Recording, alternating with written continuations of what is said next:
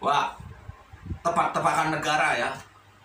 Tapi negara ini adanya di dapur.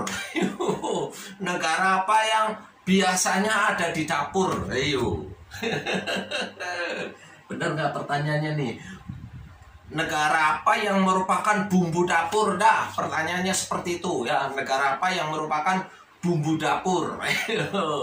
Wah, negara yang namanya merupakan bumbu dapur. Kayaknya ini dong, tetangga negara kita ya belum jauh-jauh banget ya kan. Namanya itu negara Laos. Pernah makan Laos kan?